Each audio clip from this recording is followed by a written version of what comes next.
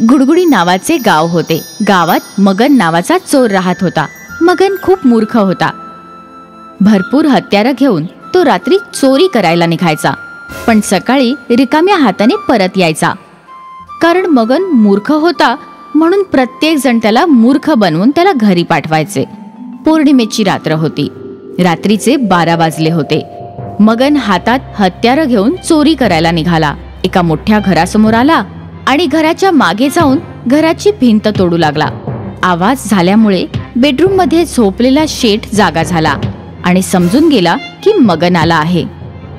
वाटतं मगन मूर्ख चोरी करायला आला आहे. याच्या आधी हा भिंत तोडून टाकेल मला त्याला थांबवावं लागेल. शेठ घराच्या मागे गेला आणि त्याने बघितलं मगन भिंत तोडत होता. काय रे मगन? काय करत आहेस? चोरी करायची आहे. भिंत तोडून घरात घुसायचं आहे.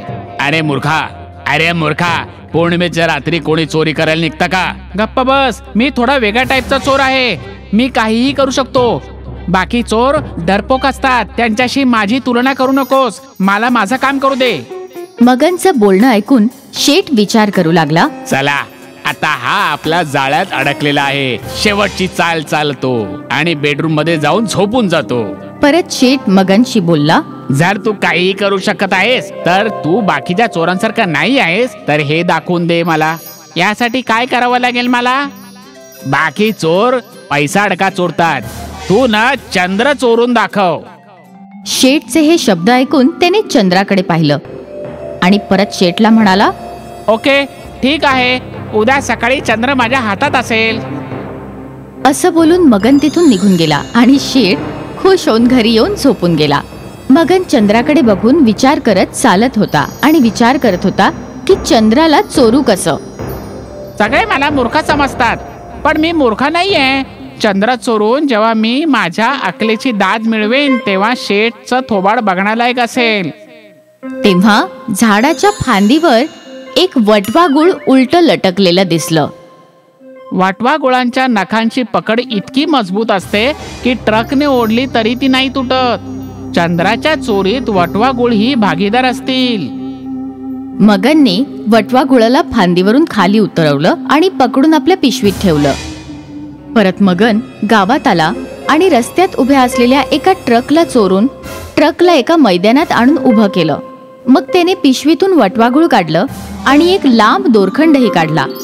दोरीचं एक टोक त्याने वटवागुळाच्या गळ्यात बांधलं आणि दुसरं टोक ट्रकच्या मागे बांधलं आणि वटवागुळाला चंद्राच्या दिशेने फेकलं. बघता बघता वटवागुळ आकाश भेदत उंच उडालं. तर त्याच्या बरोबर दोरीही उडू लागली. वटवागुळ उडत राहिलं आणि उडत उडत चंद्राला जाऊन उलट लटकलं. मग काय?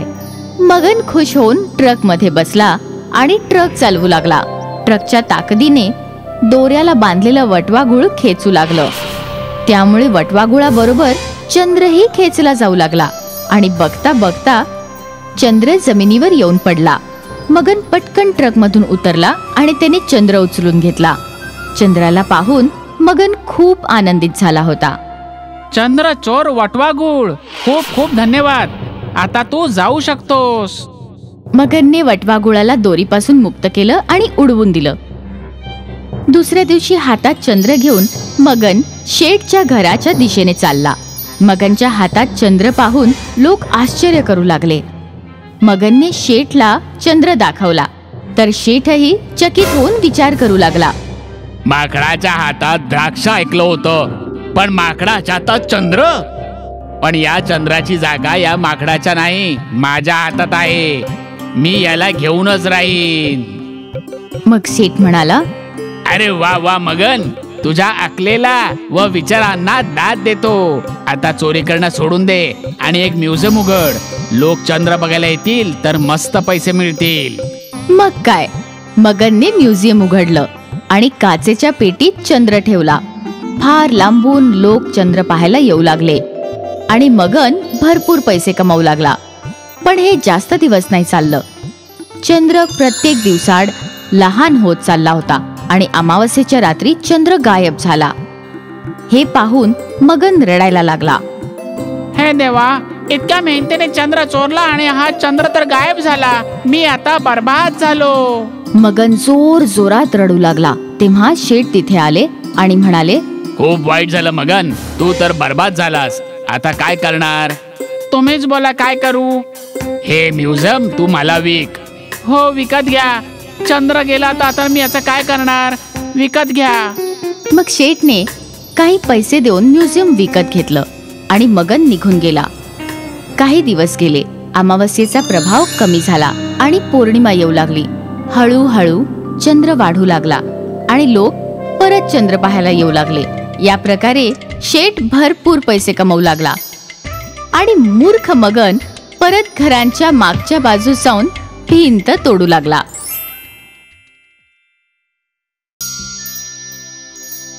एका गावात शंकर त्याची लहान मुलगी राखी हिच्यासोबत राहत होता.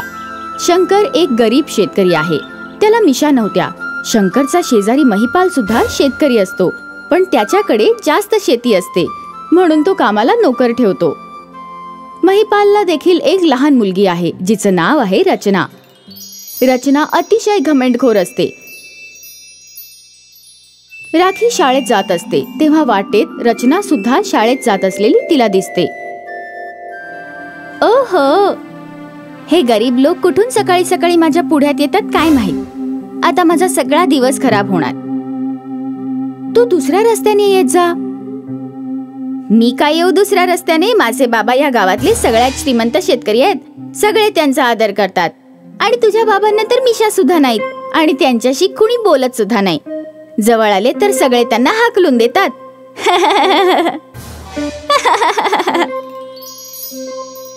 या अपमानामुळे राखी खूप दुःखी होते आणि ती शाळेत जात नाही. तशीच परत आपल्या घरी निघून येते. घरी शंकर जेवण बनवत होता. आणि शेतावर जाण्याची तयारी करत होता. काय झालं माझ्या बाळाला? बाबा आपण इतके गरीब का आहोत? कोण म्हणाल बाळा की आपण गरीब आहोत? बाबा सगळेच असं म्हणतात की आपण गरीब आहोत. जर आपण गरीब नसू तर गावातलं कोणीही आपल्याशी व्यवस्थित बोलत का नाही? बाळा गरीब त्याला म्हणतात ज्याच्या थाळीत अन्न नसतं पण देवाच्या कृपेने आपल्याला दोन वेळचं जेवण मिळत आहे. तुला शाळेत चांगलं शिक्षण मिळत आहे. आपल्याला अजून काय हवं पोरी? ठीक आहे. मी मान्य करते की आपण गरीब नाही. पण मग तुम्हाला मिशा का नाहीत? आलं लक्षात माझ्या. नक्कीच रचना तुला काही बाही बोलली असणार.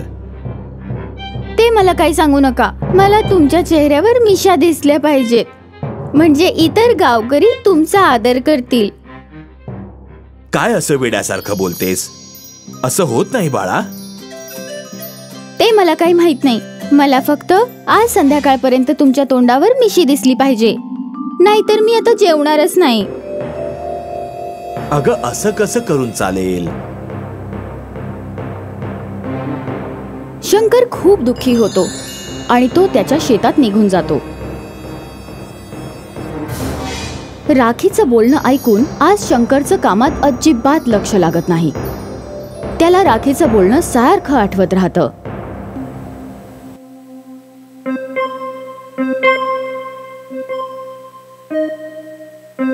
शेवटी तो एका झाडाखाली येऊन बसतो. आता माझ्या येऊलाशा मुलीला कसं सांगू? की मी गरीब आहे म्हणून मिशा बाळगू शकत नाही. कारण गावातले गावकरी ही गोष्ट स्वीकारणार नाहीत. पण आज मला मिशा नाही आल्या तर मी जेवणारही नाही. आणि मिशा वाढवायच्या म्हटलं तर एका दिवसात तर वाढणारच नाहीत. हे देवा कसल्या पेचात अडकवलंयस मला? आता करू तरी काय?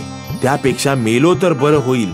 पण जर मी मेलो तर माझ्या मुलीकडे कोण बघणार? शंकरला अनेक प्रश्न भेडसावत असतात आणि त्याला रडू येत असतं. रडता रडता कधी त्याचा डोळा लागतो हे त्याच्या लक्षात येत नाही आणि तो झोपी जातो. थोड्या वेळाने झाडाखाली ऊन पडतं आणि त्याला जाग येते. शंकरला त्याचा चेहरा थोडा वजनदार वाटतो. तो हात लावून पाहतो. तर त्याला आश्चर्याचा धक्का बसतो. कारण शंकरच्या चेहऱ्यावर जादूच्या मिशा आलेल्या असतात. अरे माझ्या तोंडावर मिशा कशा फुटल्या? ही राखीची खोडी तर नाही. कदाचित ती इथेच कुठेतरी लपून बसली असेल. मी मिशा ओढून पाहतो. राखीने त्या नक्कीच फेविकॉलने चिटकवल्या असणार. मग बघतो त्या राखीकडे. शंकर आपल्या मिशा ओढून पाहतो. पण मिशा निघूनच येत नाहीत. पण त्यातून सोन्याची नाणी खाली पडतात. अरे हे काय? ही तर कमाल झाली. अरे देवा आता मी तर श्रीमंत झालो. पण माझ्या लक्षातच येत नाहीये की हे नक्की घडलं तरी कसं? कसं झालं? त्याच वेळी झाडातून एक देवी प्रकट होते.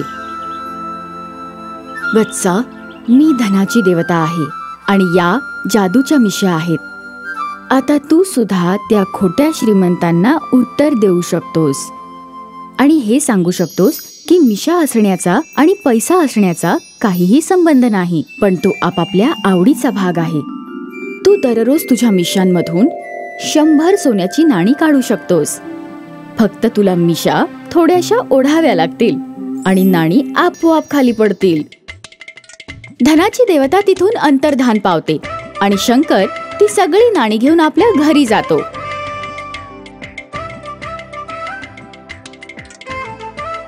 शंकर घरी जात असतानाच वाटेत त्याला महिपाल भेटतो. काय रे शंकर? वेड बीड लागलंय का तुला? काय झालं महिपाल भाऊ? मला तर वाटतंय की तुम्हालाच वेळ लागलंय. तू माझी मस्करी करतोयस. तुला इतकंही माहीत नाही की मी श्रीमंत शेतकरी आहे. आणि माझ्या बरोबरीत मिशा ठेवू शकत नाहीस तू. लहान तोंडी मोठा घास नको भाऊ पण प्रत्येकाची वेळ येते. आणि हे बघ माझ्याकडे आता सोन्याची शंभर नाणी आहेत. जर तुझ्याकडे असतील तर दाखव. महिपाल गपचूप तिथून निघून जातो. आणि शंकर घरी येऊन सगळी हकीकत राखीला सांगतो. ते ऐकून राखीला अतिशय आनंद होतो. शंकर आता रोज आपल्या मिशीतून सोन्याची नाणी काढू लागतो. आणि बघता बघता फक्त गावातलाच नाही तर संपूर्ण जिल्ह्यातला एक श्रीमंत माणूस झाला. त्याने एक मोठा वाडा बांधला आणि दिमतीला नोकर ठेवले. राखी सुद्धा आता राजकुमारी सारखी राहू लागली. शंकर जेव्हा सकाळी उठला तेव्हा पाहिलं की त्याच्या मिशा गायब झाल्या आहेत. आणि तेव्हा धनाची देवी प्रकट झाली आणि म्हणाली की त्या मिशा शंकरकडे ठेवण्याची वेळ आता भरली आहे. शंकरच्या घरी आज काही लोक येणार होते. शंकर तू या जिल्ह्यातला सगळ्यात श्रीमंत माणूस आहेस पण तू मिशा का कापल्यास? मला तुम्हा सगळ्यांना आज एक गोष्ट सांगायची आहे. तुम्ही सगळ्यांनी मिळून अनेक वर्ष माझं शोषण केलं आणि मला कधीही मिशा ठेवण्याचा अधिकार दिला नाही कारण मी गरीब होतो. पण मिशा बाळगणं ही एखाद्याची आवड असू शकते. त्याची लायकी नव्हे. आणि हो एखाद्याची पात्रता ही त्याच्या मिशांवर अवलंबून नसते. सगळ्यांनी एकत्र राहावं आणि आनंदाने राहावं. अशा प्रकारे गावातून गरीब श्रीमंत असा भेदभाव नष्ट होतो. आणि मग मिशा नसलेले लोक सुद्धा सन्मानानं आयुष्य जगू लागतात.